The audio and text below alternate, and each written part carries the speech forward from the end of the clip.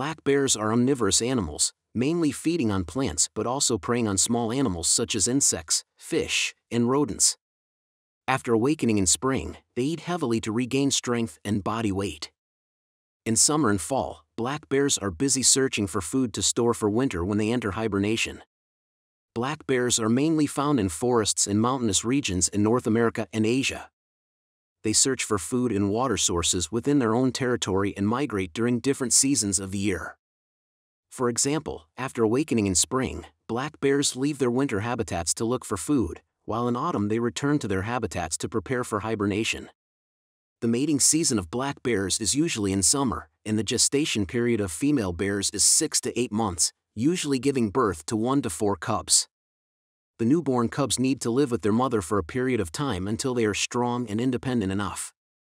Female bears give birth to cubs after awakening in spring, which is also the season when other animals start to reproduce. Black bears are solitary animals and usually do not like to share their territory with other black bears. They are nocturnal animals and search for food at night. Black bears generally do not attack humans, but they may attack humans or other animals when they are startled or feel that their territory is threatened.